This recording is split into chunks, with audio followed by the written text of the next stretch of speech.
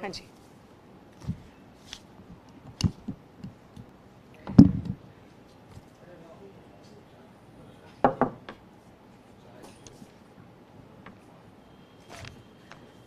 कल शाम को साढ़े सात बजे दिल्ली की एक बहुत बड़ी मार्केट सुभाष नगर के बीचों बीच एक गाड़ी में सवार लोगों पर तीन लोग गोलीबारी करके निकल जाते हैं। वो मार्केट के बीचों बीच, सड़क के बीच में, जहाँ पे बहुत ट्रैफ़िक आ जा रहा था, ये तीन अनआइडेंटिफाइड लोग बंदूक लेकर आते हैं और उस गाड़ी में बैठे लोगों पर धुआंधार फायरिंग करते हैं। वो धुआंधार फायरिंग करने के बाद मार्केट की भीड़ से आराम से फरार हो जाते हैं, कोई उनके पीछे भी नहीं जाता। अब आज उस घटना को 15-20 घंटे से ज़्यादा हो गए हैं। लेकिन अभी भी दिल्ली पुलिस एक भी व्यक्ति को, जो सड़क के बीचों बीच, बाज़ार के बीचों बीच गोली चलाकर, धुआंधार गोलियाँ चलाकर चला जाता है, उस पर कोई भी कार्रवाई नहीं है, कोई भी एक्शन नहीं है। ये दिल्ली की लॉ एंड ऑर्डर की क्या हालत हो गई है कि एक मार्केट के बीचों बीच शाम के साढ़े सात बजे कोई भी क्रिमिनल ये सोचता है कि हम आकर गोलियाँ चलाकर किसी पर चले जाएँगे वहाँ से, लेकिन हम पर कोई भी एक्शन नहीं होगा। आज किसी में दिल्ली पुलिस का कोई डर क्यों नहीं है? क्योंकि उन्हें पता है, दिल्ली पुलिस तो बहुत व्यस्त है। दिल्ली पुलिस की सारी फोर्स व्यस्त है भारतीय जनता पार्टी के गुंडों को बचाने के लिए। आप पिछले कुछ दिनों से देखिए, दिल्ली पुलिस ने इतनी फुर्ती दिखाई है जब उन्हें तेजिंदर बग्गा जी को गैर कानूनी रूप से बचाना था, तब दिल्ली पुलिस की सारी फोर्स सड़क पर उतर जाती है।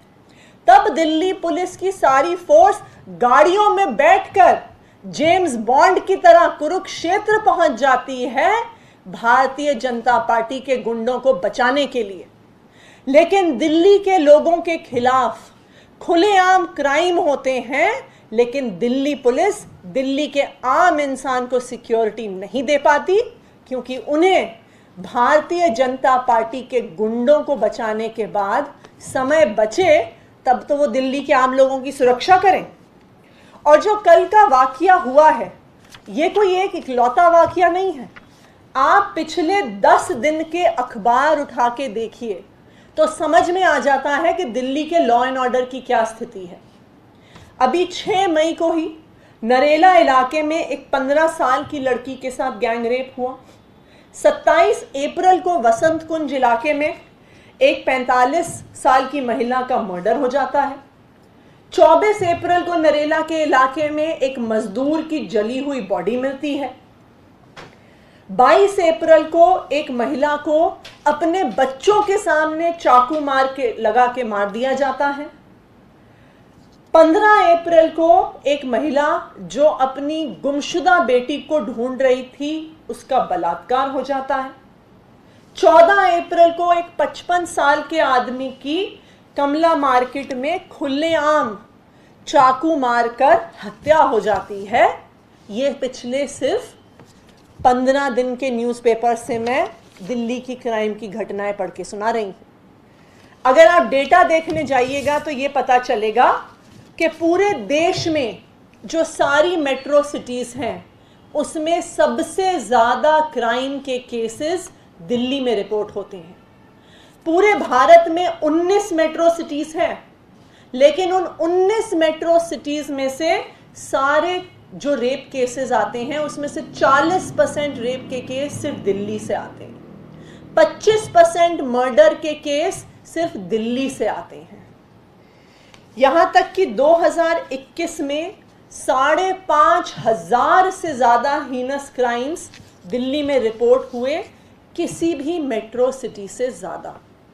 ये है दिल्ली पुलिस का रिपोर्ट कार्ड। तो एक तरफ़, दिल्ली के आम आदमी के पास कोई सुरक्षा व्यवस्था नहीं है।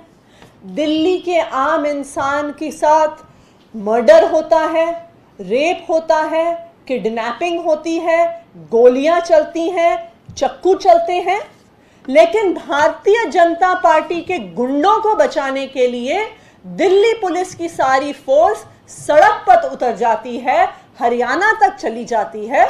तो इससे यह साफ़ हो जाता है कि आज जो दिल्ली का आम इंसान इस लॉ एंड ऑर्डर की बिगड़ती हुई सिचुएशन से परेशान है, उसका सिर्फ़ एक ही कारण है, और वो है दिल्ली पुलिस जो भारतीय जनता पार्टी के गुंडों को, लफंगों को, दंगइयों को जो प्रोटेक्शन देने में बिज़ी है जो बचाने में उनको व्यस्त है उसकी वजह से आज दिल्ली का आम इंसान परेशान है। थैंक यू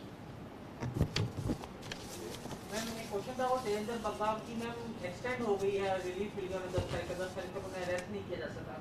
हैं पुलिस देखिए तेजिंदर बग्गा जी को कोई रिलीफ नहीं मिला है। तेजिंदर बग्गा जी कोर्ट गए थे जो उनके खिलाफ वारंट इशू हुआ है उस वारंट पे स्टे लेने के लिए।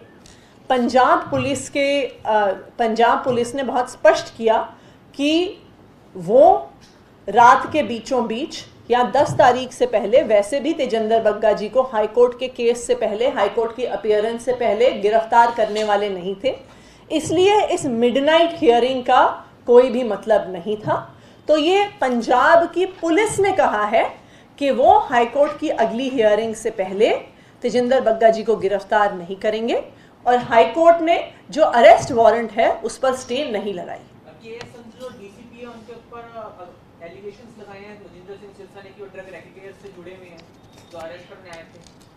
देखिए सिरसा जी अब जिस भारतीय जनता पार्टी में शामिल हो गए हैं वो तो है गुंडों की पार्टी वो है दंगइयों की पार्टी वो है लफंगों की पार्टी तो वो तो चाहते ही हैं कि हर जगह दंगे हों हर जगह लॉ एंड ऑर्डर की सिचुएशन खराब हो।